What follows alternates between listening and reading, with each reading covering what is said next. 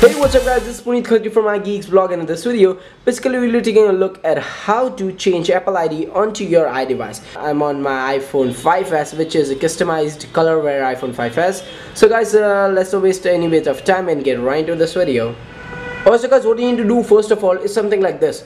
Just scroll over and go into settings option. Once you're under settings you need to go ahead and search for iTunes and App Store. Just hit over here. And the very first option it shows you the registered Apple ID or the Apple ID which you have signed in using. So just hit over there and you'll get an option to sign out. Just hit sign out and that's it. You're signed out on your existing Apple ID so guys now what's the second step to like basically get a new Apple ID what do you need to do to get, get a new Apple ID what you need to do is just go into the App Store.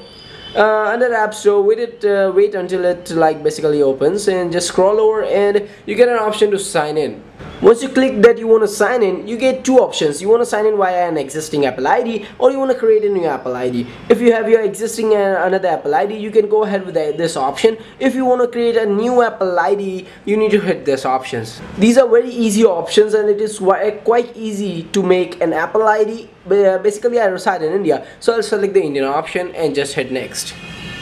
Once you hit next it shows you the terms and condition. Hit agree and agree now it asks you particular information. When you fill out these informations you will get that successfully you have created your apple id also guys this was a quick video on how to change apple id onto your existing iDevices so guys i hope you enjoyed this video. If you then please do give a thumbs up to this video subscribe to iGeeks blog and i'll catch you guys later in my next video.